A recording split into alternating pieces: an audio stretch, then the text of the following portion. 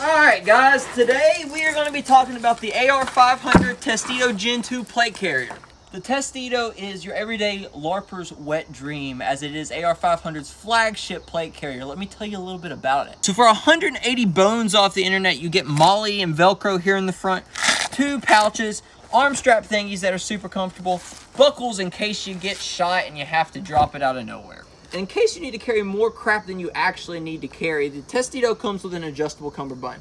On the inside, it has two places for side plates, and on the outside, it has enough MOLLE and Velcro to satisfy all of your tactical needs. So if you want to be the sexiest LARPer at your local gun club, you should head on over to the link in my bio where you can find this beautiful plate carrier right here. And also you should subscribe to my YouTube channel. Link is also in my bio there. I do all kinds of cool stuff like shoot things.